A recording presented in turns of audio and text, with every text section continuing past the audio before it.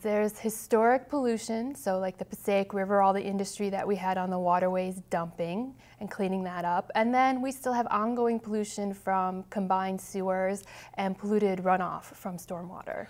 What's in runoff? What happens to runoff?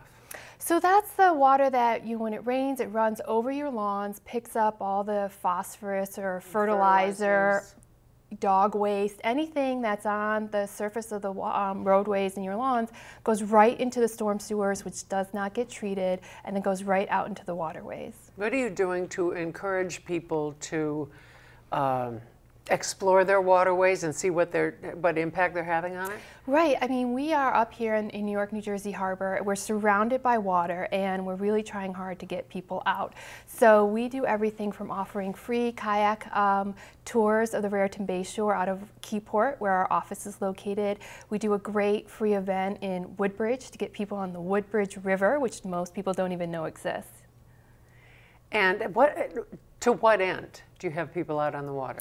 So we really want them to discover their local waterways and, and embrace them and then become advocates for them. When they ask questions about, wow, why can't I go in the water today? Or why am I, my, is my access blocked off to the water? Then that gets people thinking and asking their elected officials and making different um, choices and decisions about how we treat our waterways. What's the single most important issue affecting the estuaries into the harbor? You know, I think there is kind of a lack of public engagement and public knowledge about this great resource and how we need to do better protecting it.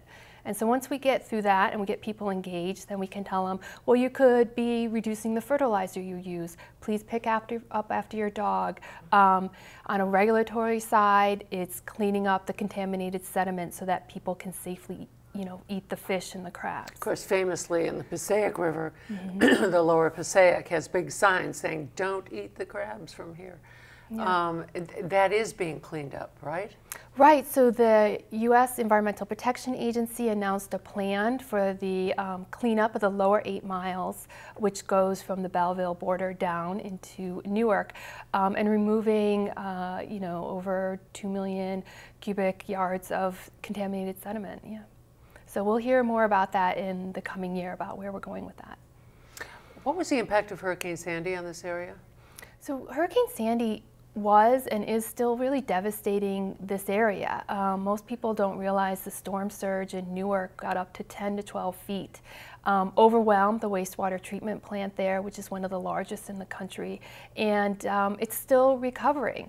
We had floodwaters that were mixed with raw sewage and industrial chemicals, you know, going into our communities along with oil spills from and all. cars and gasoline. Right. Right. What kind of resources are you developing to help communities along the shore uh, prevent that kind of thing in future storms?